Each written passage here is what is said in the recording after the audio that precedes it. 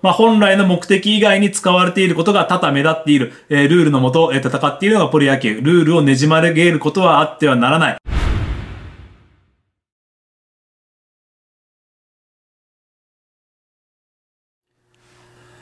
はい、お疲れ様です。12月5日、本日のカープ KT です。今回もご視聴ありがとうございます。えー、本日はサッカーのワールドカップがね、控えておりますけども、まあ、そこはね、変わらずに、ブレずに、えー、カープのね、動画作っていきたいと思いますんで、よろしくお願いいたします。はい、今回はですね、カープに関係する話題をね、どんどんさらっていきたいというふうに思います。はい。で、こちらのチャンネル、動画をね、ご覧いただきますと、えー、Google だったりね、Yahoo で検索することなく、えー、カープの情報を仕入れることができると、えー、さらに、えー、カープに対する愛がね、深まる動画となっておりますんで、ぜひチャンネル登録をよろしくお願いいたします。はい、えー、少しでもね、カープの魅力であったり、カープを応援することの楽しさが、えー、伝わればいいなという思いで動画の方作っておりますんで、こちらのチャンネルの応援も、えー、ぜひともよろしくお願いいたします。はい、というわけで本日の話題は、ドンということで、こちらの2点になっております。今日はですね、ちょっといつもより重たいと言いますかね、真面目な話題になっておりまして、まちょっとエンタメ、エンタメ感がね、いつもよりちょっと薄れてしまうんですけども、まあね、たまには真面目に喋ろうじゃないかということでやっていきたいと思います。えー、まずはじめ1個目の話題なんですけども、こちら、森下さんですね、えー、デイリーの企画で、えー、視聴者さんの、えー、読者の皆さんからの質問にね、答えるという、えー、イベントをやったみたいで、まあ、その中で、えー、メジャー志望ありますかというところの質問に対して、できるんだったらやりたいですねという答えをね、されていましたて、ちょっとね、油断していました森下さんにね、えそこまでメジャー志望ないのかなというふうに見ていたんですけども、本人結構ねこの記事深く読んでいきますと結構強めのねメジャー志望あるということでちょっとねたまげております。はいちょっとね順番に読んでいきますとまあメジャー志望ありますか？に対してあります。できるんだったらやりたいですねと。で、続きまして憧れたのはいつ頃ですかというので、え大学生からですね、えメジャーの試合を見ることも多くなった。たまたま大学にいる時にアメリカキャンプに行ったり、日本代表の遠征でも行ったりしてそう思うようになりましたということで、やっぱりね、現地で肌でね、触れて、えー、憧れをね、持つということですね。まあ、テレビで見てても十分ね、あの、憧れの舞台ではあるんですけども、現地行ってね、ああいうね、あの、メジャー本場のね、雰囲気に触れてしまうとここでねここの監視を魅了してやるぜみたいな感じでね憧れはやっぱりねアスリートあるあるでね、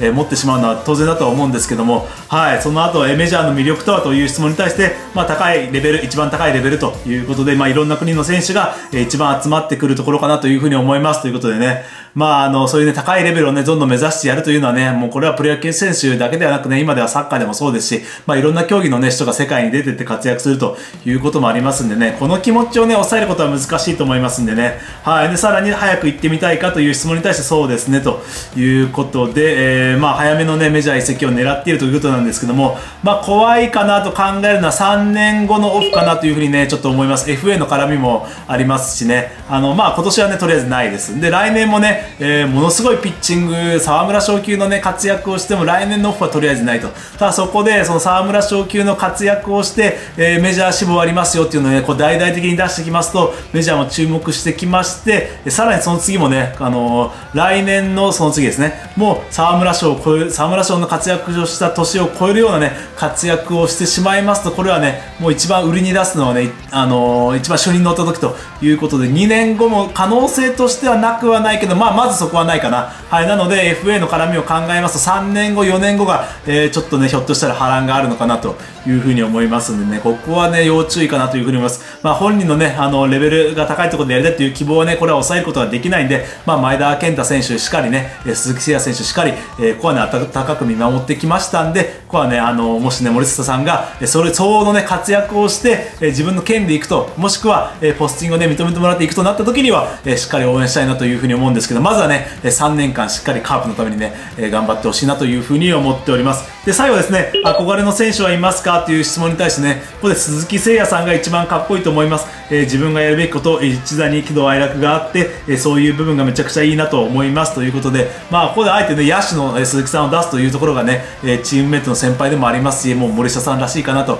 いうふうに思いました。まあ、おそらくね、これ質問してる方もね、え25歳の女性の方なんですけども、まあ、ピッチャーで誰が帰ってくるかなというような予想をして質問したとは思うんですけども、ここであえて鈴木誠也さんということでね、先輩を立てる、え森下さんらしいなというふうに思いました。まあ、これ面白いですね、鈴木誠也さんのこの一座に喜怒哀楽があってというのね、まあ、感情をね、あらわに打ち取られた時はね、本当にあのー人をね、こうやっちゃうんじゃないかというようなね、目をするっていうのがね、結構有名な話なんですけども、まあそういうね、あの、ポーカーフェイスもいいですけども、ある程度感情があった方がね、えー、見てる方も人、人間っぽくていいのかなというところで、こういうね、答えになったのかなというふうに思いますんで、まあ一方でね、森下さんは結構バウンド上ではね、淡々と投げるポーカーフェイスだとは思うんですけども、まあそういうね、鈴木誠也さんがかっこいいなというふうに思っているということで、まあ憧れのね、鈴木誠也さんもいますんで、まあメジャー挑戦、えー、ここはね、ぜひ、日本で結果を出した上で、えー、頑張ってほしいなというふうに思います。はい、1個目の話題、森下さんが、え、意外や意外メジャーへの志望、ちょっとこれね、こう自分知らなかったんですけども、まあ、有名な話だったんですかね、ちょっと、え、油断しておりましたということで、はい、では次行きたいと思います。まあ、そのね、えー、FA の絡みもあります、選手会のね、ちょっと定期大会といったところが本日行われたということで、まあ、相沢さんがですね、えー、NPB の、NPB じゃない、えー、日本プロ野球選手会の会長をしているということで、まあ、カープの選手会長は大瀬良さんなんですけども、そこはね、カープの選手を見るところ。で、相沢さんは、えー、日本プロ野球選手会の会長なんで、まあ、各ね、えー、球団の、その理事だったりね、えー、選手会の代表が来るところを仕切る、えー、会長となっておりますんで、まあ、非常にね、荷が、あの、荷が重いってちょっと表現が悪いな。非常にね、負担が大きいところになるんですけども、あの、ぜひね、選手としてもまだ頑張ってほしいですし、こういうね、裏方でも頑張ってほしいですね。まあ、かつてはね、古田さんが、あの、近鉄のね、えー、問題の時に頑張ってくれたりとか、あの、島さんだったりがね、あの、震災の時に頑張ってくれたとかあったんですけども、まあ、キャッチャーが比較的多いんですかね、この会長につくというのは。はい、そういうところで現状は、あの、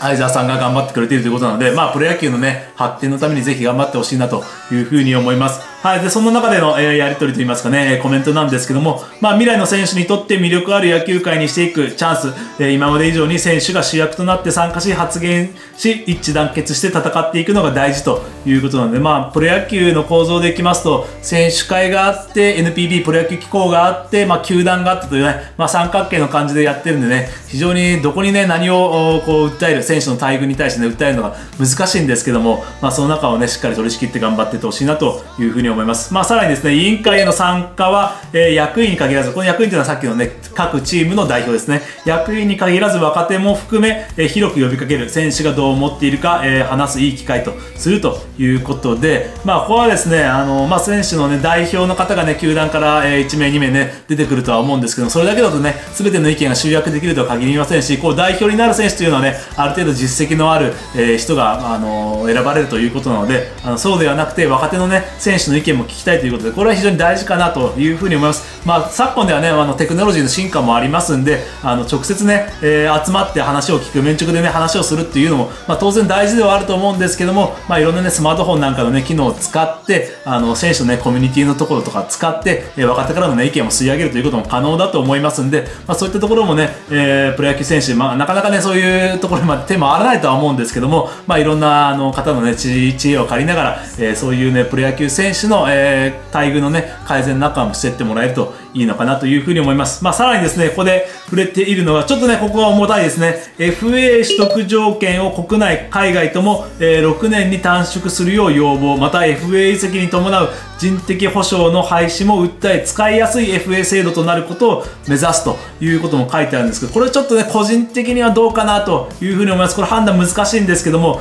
まあ、使いやすい FA 制度といったところはね、あの、賛成なんですけども、まあ、あのね、ドラフトで結構ね、その人生といいますかね、野球人生が決まるという形が多いんですけども、まあ、そこでね、行きたい球団あったのになということを思いながらね、プロの現役生活を終えてしまうよりは、もっとね、こう、移籍なんかを活性化させて、えー、やるのはいいというのはね、当然思うんですけども、まあ、FA のね、その権利を、え6年に短縮してしまいますと、6年我慢すると、まあ、1軍でね、登録されなきゃいけないんですけども、6年頑張れば、え好きなところに行けると。で、さらに、人的保障の廃止もね、されてしまいますと、え持ってかれることの多い球団としてはね、なんか、ちょっと残念と言いますかね、あの、腑に落ちないところが多くなってしまいますんで、まあ、これをやるんだったらドラフト制度の見直しも含めてとかな、あの、話になるのかなというふうに思います。なので、FA の人的保障をなくすとかね、期間を短くすると、まあ、当然ね、プロ野球選手なので、お金のね、いいところに行くっていうのはね、これはもうしょうがないことなんで、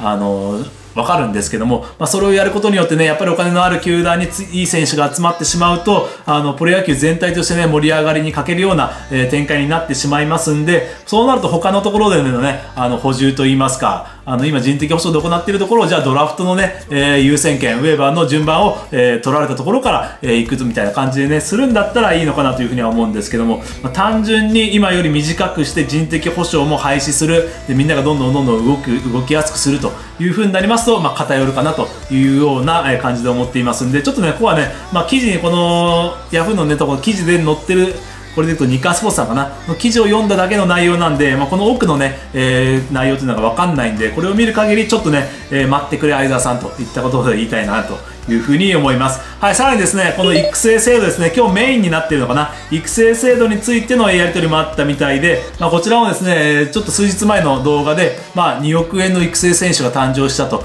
いうことでね、まあ、ジャイアンツの梶谷さんになるんですけども、まあ、それどうかなということで話したところの、続きになるんですけども、まあ、本来の目的以外に使われていることが多々目立っている、えルールのもと、戦っているのがプロ野球、ルールをねじ曲げることはあってはならない、ということでね、相沢さんのコメントしてあるんですけども、まあ、あの、正確に言いますと、ルールをねじ曲げていることではないですね。本来の目的に対してはねじ曲がっていますけども、ルールの一応範囲内になっちゃってるんで、今文句を言うことはね、難しいんですけども、まあ、ルールがね、悪いことは間違いないというふうに思いますんで、これはね、選手会からしっかりね、訴えていってほしいなというふうに思います。はい、続きまして、え、高額年俸者や複数年契約者が故障などによりなどにより、えー、育成契約のあるケースを指摘。大会参加者からは、えー、人的保障のプロテクト外しじゃないかという意見も出たというということでね、えー、これから是正を訴えていくということなので、まあ、ぜひやっていってほしいなというふうに思います、まあ、プロテクト外しだったりね、まあえー、今年からでいけばあのその現役ドラフトですかね。まあそこを逃れるためというような、えー、使い方をしているようなもう感じがプンプンと、えー、出てきている球団がありますんで、えー、某ジャイアンツなんですけども、まあそういうところをね、メスを入れるというのは非常にいいかなというふうに思いますんで、ここはね、相沢選手ぜひ頑張ってほしいな。相沢選手だな。相沢選手会長ぜひ頑張っていってほしいなというふうに思いますので、よろしくお願いします。はい、そしてですね、えー、その次ですね、まあ選手の年俸に関するところですね、あの、今、バシッとね、金額を言う人もいれば、ばあの、非公開にする人もいるんですけども、まあそこ例外なくね、推定で金額は出されてしまいますんで、そこに対してね、あのー非公開を希望する選手には、あの、ちょっと非公開にしてやってくれというところをね、えー、訴えてはそうです。はい。まあ、ここはね、難しいですね。プロ野球選手なんで、やっぱりね、金額で、あの、子供たちにね、夢を与える部分もね、えー、一部ではあるんですけど、そういった意味もありますんで、あの、ぜひ公開してほしいんですけ、し、あの、少ない選手はね、来年頑張ろうと思ってね、頑張ってくれればいいとは思うんですけども、まあ、ここにもあるんですけども、家族にね、ちょっと迷惑がかかる、家族が傷つくということで、まあ、当然ね、あの家族も住んでいますから日本に住んでいますからあの買い物行った時にねあそこの旦那さん今年年俸1億2000万下がったから特売品買ってるわよあの奥さんみたいな感じでね、えー、言われるとちょっとさすがにねカチンときますんでね。まあお金の話なんでね例えば自分のようなサラリーマンの年収なんかね公表したって誰も面白くないんですけどもやっぱりプロ野球選手の年俸気になるけどもあの選手個人がねあの年俸下がったから叩かれるというのはね次の年年をね頑張ればいいとは思うんですけども家族のね選手にあそこのお父さん年俸、えー、3000万下がっちゃったみたいだよみたいな感じでねこう後ろから言われるとねまあそれは傷つくと思いますんでねあの非公開を希望した時はね非公開にしてあげてほしいなというふうに思います。まあ、ただですね、このさっきの FA の人的保障のところになりますと、あの、年俸のランキングでね、あの、人的保障とかも決まってきますんで、そうなると、この選手非公開、この選手非公開ってなりますと、誰が、えー、どのランクにいるかっていうのもね、ちょっと判定が難しくなりますんで、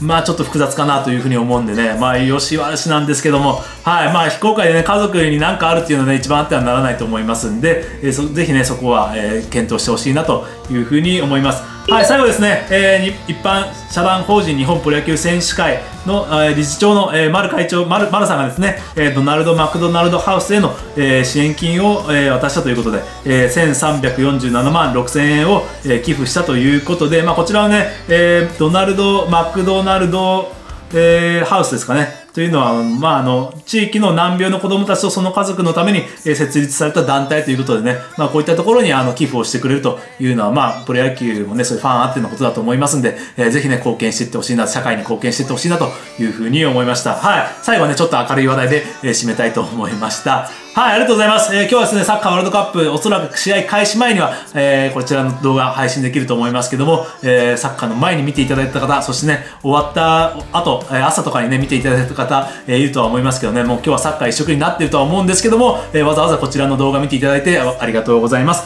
えこれからもよろしくお願いいたします。ということで、今日はですね、やっぱりサッカーになっちゃいますね。すいません。はい、なんとかクロアチア、絶対に勝ってもらいたいなというふうに、え気合を入れます。やっちゃろやはい、失礼します。おやすみなさい。